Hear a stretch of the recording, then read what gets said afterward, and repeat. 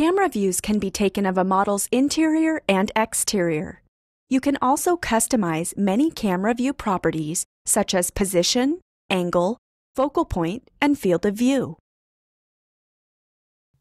The perspective and orthographic camera view tools are both used similarly. In Floor Plan View, click, drag, and release the mouse to create a camera view. To explain more, I'll click Floor Plan tab, which takes me back to the floor plan view without closing the camera view. The camera object in Floor Plan View represents the camera view. Where I first clicked to begin dragging determines the camera's position. Where I released the mouse determined the camera's focal point. In Floor Plan View, you can select the camera and adjust its position, perspective, and focal point using the mouse. You can also select a camera and click the Open Object Edit button to open the camera specification dialog. Here you can customize this specific camera view. Once you've perfected your camera view, you can save it and use it in a variety of ways. Overviews are created from the same overhead perspective each time. Simply click on one of the Overview tools for an instant rendered 3D view. The Full Overview tool creates a view of the entire 3D model. The Dollhouse view opens a three-dimensional bird's eye view of a single floor. No ceilings or roofs display, allowing you to see the interior of your design. The Framing Overview creates a view of the entire model showing only the framing.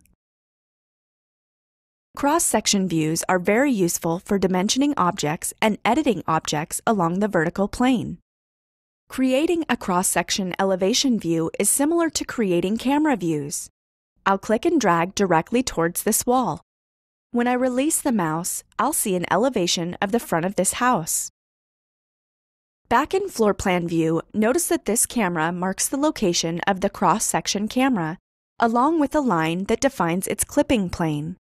I'll select the cross-section view from the bottom of the window menu to return to that view.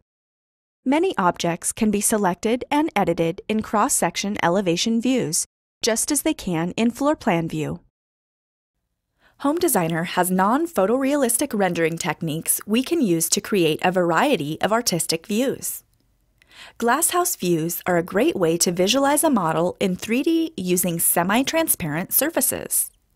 Everything appears translucent, so you can see the walls that define each room, as well as the objects inside them.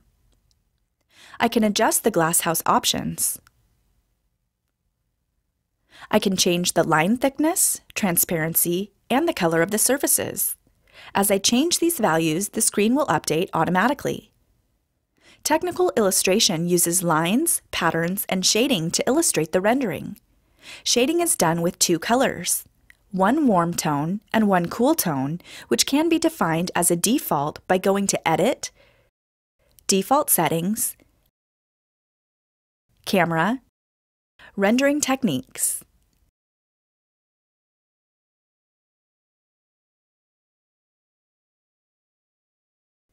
You can also adjust these settings for your current 3D view by going to the 3D menu, to Rendering Techniques, and clicking the Technique Options command. Or you can go to the drop-down menu and choose Technique Options here.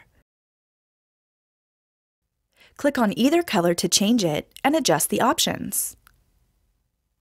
As you can see, the rendering looks less like a photo and more like a line drawing detailing surface, edge, and pattern lines. Now I'll return to the Rendering Techniques drop-down and select Watercolor. Unlike technical illustration, which uses lines and patterns, watercolor uses textures to represent the materials. I can customize the look of my watercolor rendering by going back to the Technique Options command. You can click the Help button to learn about these adjustments and use them to give your rendering a unique look all their own.